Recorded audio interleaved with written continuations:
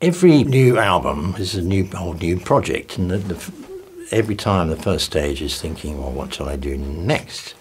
No, what haven't I done before? Mandolins very important. They got um, mandolins, and then uh, original Ommadawn had um, recorder, which I'm not very good at playing, but I can play the penny whistle. so I got a whole range of them in different keys. And add all the instruments there. Um, I didn't want to have a beep, beep, beep, beep electronic click track, so I got an old metronome, winding it up, put in microphones, you know, tick, tock, tick, tock. I recorded the click track. So there I am, all my instruments, click track, right. What shall I do?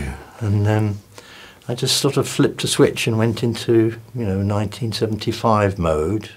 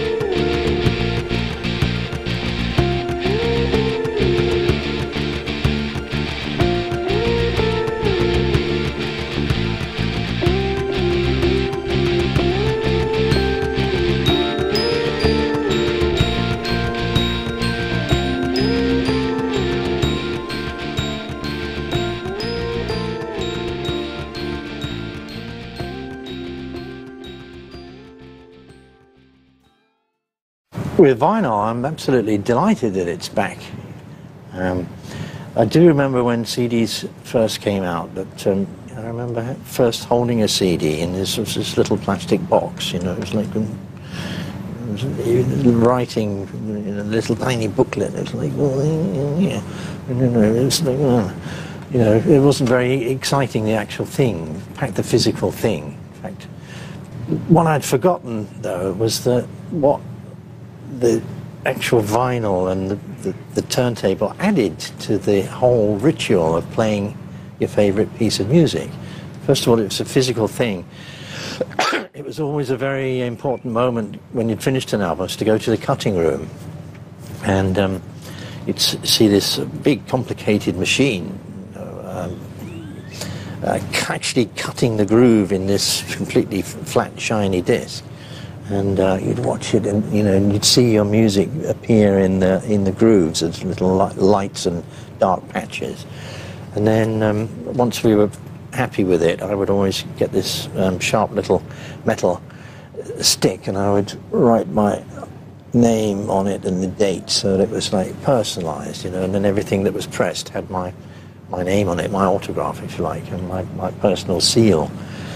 Um, and all that was lost with CDs and is completely lost now with um, you know, streaming and you know, internet. And, uh, so vinyl making a comeback is, is fantastic. You, now you've got back again the, um, the physical thing. You've got the artwork. You, if you've got a gatefold, you've got all this information, and you've got something you can take out, and it's yours. You know, it's not like a thing in the middle of nothing. You know. And it's for all those reasons I couldn't be more delighted that vinyl is back. Absolutely.